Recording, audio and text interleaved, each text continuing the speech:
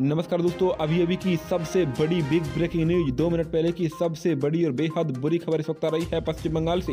पश्चिम बंगाल के आसनसोल में बड़ी घटना हुई है। यहाँ भाजपा नेता शुभेंदु अधिकारी के एक कार्यक्रम में भीड़ में भगदड़ मच गई है, जिसमें अब तक तीन लोगों की मौत हो गई है। दस लोग घायल बताए जा रहे हैं, जिनमें कई की हालत नाजुक है। जानकारी के मुताबिक कंबल लेने बड़ी संख्या में लोग पहुँचे थे। पहले कंबल लेने के चक्कर में धक्का मुक्की से शुरू हुई बात। बाद में दोस्तों भगदड़ मच गई है। प्रत्यक्षदर्शियों के मुताबिक लोग एक दूसरे के ऊपर से कूदकर भागने लगे। इसी भगदड़ में तीन लोगों ने दम तोड़ दिया। वहीं इस बारे में स्थानीय पुलिस ने कहा कि कंबल वितरण कार्यक्रम के लिए कोई अनुमति नहीं ली गई थी। सभी घायलों को जिला अस्पताल में भर्ती करा दिया है। बहुत ही बड़ी खबर इस वक्त आ रही है पश्चिम बंगाल से। इस भगदड़ में अब तक तीन लोगों ने दम तोड़ दिया है।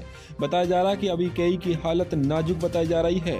अब तक की सबसे बड़ी खबर पुलिस छानबीन कर रही है। आपको बता दें कंबल लेने बड़ी संख्या में लोग पहुँच गए थे और आपस में धक्का मुक्की करने लगे थे और धक्का मुक्की दोस्तों भगदड़ में तब्दील हो गई थी, जिसमें दोस्तों तीन लोगों ने दम तोड़ दिया है। जाँच के आदेश दिए गए हैं। आप सभी अलर्ट रहें, सुरक्षित रहें, अपनी राय कमेंट में लिखें, चैनल को सब्सक्राइब करें।